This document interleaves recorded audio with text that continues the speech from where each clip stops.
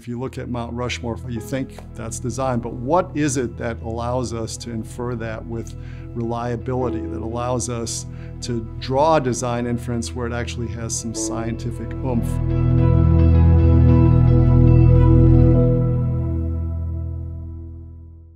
Design Inference is a book I wrote in the mid 90s originally. It was actually a doctoral dissertation in the philosophy of science, and I was trying to understand what is it that allows us reliably to infer design. So it's one thing, we all have intuitions about design. If you look at Mount Rushmore, for instance, you know, you think that's design, but what is it that allows us to infer that with reliability, that allows us to draw design inference where it actually has some scientific oomph rather than simply being a, a vague intuition.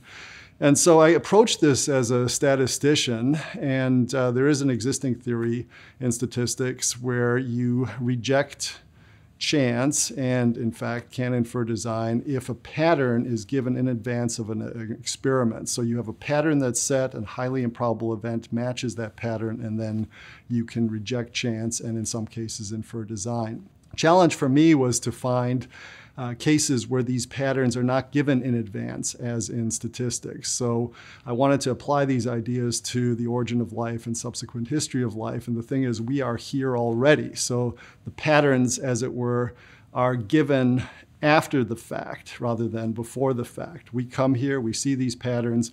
What is it that would allow us reliably to infer design? And so, what uh, what I did in the design inference, I had this theory, have this theory of what you need is a highly improbable event that matches a pattern, and it has to be the right sort of pattern. It's a pattern that's given independently of the event. And you can do this after the fact sort of thing, uh, as well as you, you can do it in the statistical context. So think of this, for instance. Uh, you have five children, they're presenting presents to their parents. It's a one gives a, a, bowl of china, another is a plate setting, another are some uh, teacups.